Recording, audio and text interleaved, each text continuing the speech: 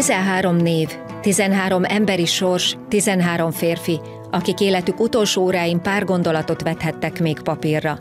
Mára a több mint 170 éves született levelek az aradi vértanúktól, kivégzett magyar miniszterektől erekjéknek számítanak. Mindig nagy izgalom, amikor előkerül egy-egy újabb, eddig ismeretlen búcsúlevél.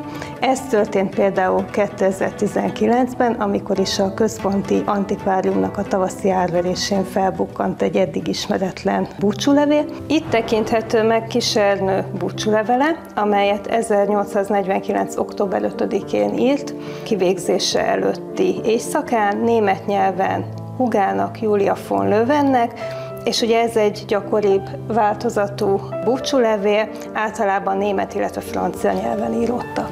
De rendelkezünk magyar nyelvű búcsúlevéllel is.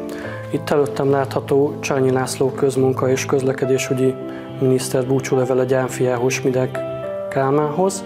Ő szintén a kivégzése előtti nap, 1849. október 9-én Pesten írta ezt a levelet. Felolvasnék belőle egy részletet. Igaz, megszökhettem volna, mint a többi miniszterek, de én a szökést, éppen úgy, mint az öngyilkosságot, gyávaságnak tartom. Ha használni nem bírtam hazám ügyének, tudok annak mártírjává lenni. Szüleiknek, legfőképp feleségüknek, testvérüknek, bajtársuknak írtak levelet. Egyrészt érzelmi szálakat érintenek, másrészt pedig konkrét gyakorlati kérdésekben járnak el.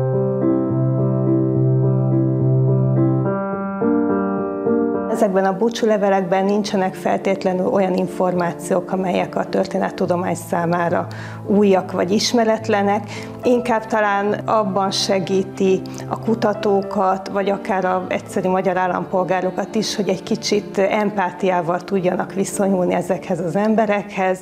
Elindultam Pestről, és csak az úton tudtam meg, hogy dacára az állapotának és a sebeinek mégis kivégezték őt. Az aradi vértanúk kivégzésével egy időben Pesten Battyányi Lajost, hazánk első miniszterelnökét is vesztőhelyre vezették. A tervezett akasztás helyett agyonlőtték. Ugyanis a felesége, Zicsi Antónia egy törcsempészetbe hozzá, amivel sebeket ejtett magán.